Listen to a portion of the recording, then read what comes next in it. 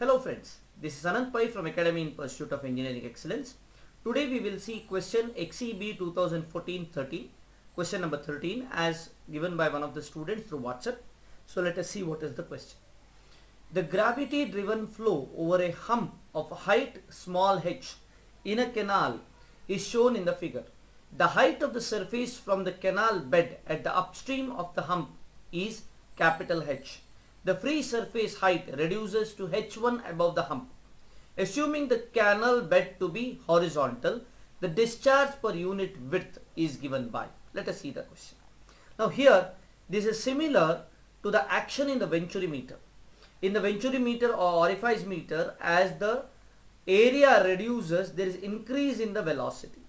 Here, area is reducing or because there is height, there is acceleration. Because of the acceleration, the area reduces considerably. Okay. So now, for this, to solve this, we have to write, take Bernoulli's equation between point 1 and 2. Let us do that. Now, the Bernoulli's equation here is given by P1 by rho g plus V1 square by 2g plus Z is H is equal to P2 by rho g plus V2 square by 2g plus H1 plus small h. Correct? Now, since the pressure at 1 and 2 is the same, so we can get this cancelled. Correct? Because it is atmospheric pressure which is acting. It's a free stream. Correct? So here, another point we have to take is, when you say discharge, discharge is velocity into area. Now what is in the case of here, in the Q1, Q1 can be written as V1 into area which is h into 1. That means my velocity v1 is equal to q1 by h. Similarly, velocity v2 is equal to uh, q is the same, it doesn't change, I'm sorry. q1, q2 is not there, q is the same. Discharge what is coming here is going here, okay. So, v1 is equal to q by h and v2 is equal to q by h1. So we will substitute that over here. So in the Bernoulli's equation, what we have got, we will substitute this.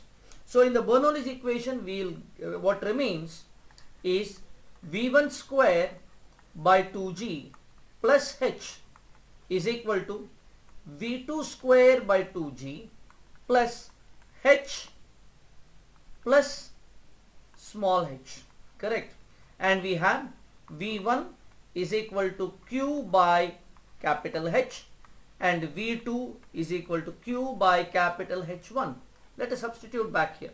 So V1 square when you say you will get q square by h square q square by h square into 2g plus capital H is equal to q square by 2g into h1 square plus h plus h. Sorry h1 plus h. I'm sorry here. H1 plus h.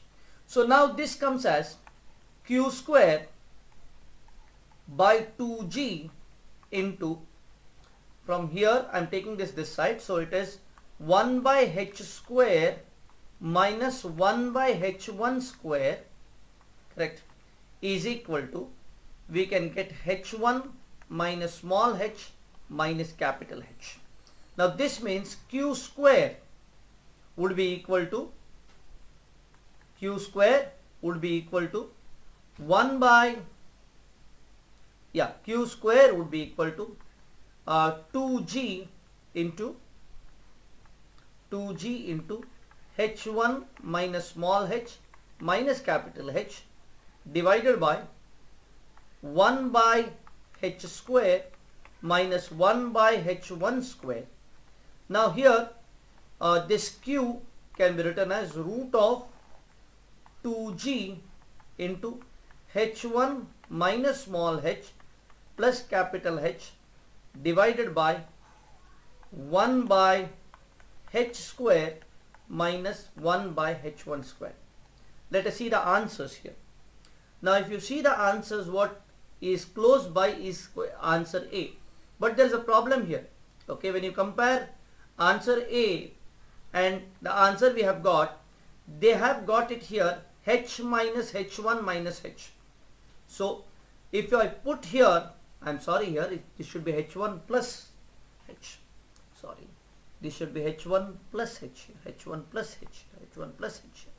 So if I take out minus from here, I can write this q as also equal to, I can write this q as also equal to square root of 2g into h, this capital minus I'm taking out, minus small h minus capital H1 divided by minus from here also 1 by H1 square minus 1 by H square. So you will get the answer as A. So answer is question uh, option number A.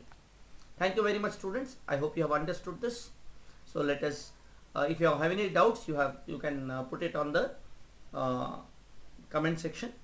Also from tomorrow onwards because XE is over okay now I am concentrating on GATE 2022. So anybody who is interested to prepare for GATE 2022, kindly follow my channel and I will be completing mathematics, uh, fluid mechanics and uh, thermodynamics questions for XE including problems as well as uh, concepts. Both I will explain. So if you follow my channel for one year, I think you can do well in XE paper with mathematics, fluid mechanics and uh, our uh, thermodynamics. Also in addition I will try but this is not my promise. I will try to do solid mechanics also. It is not my promise. Okay. So let us see what happens. Okay. Thank you very much.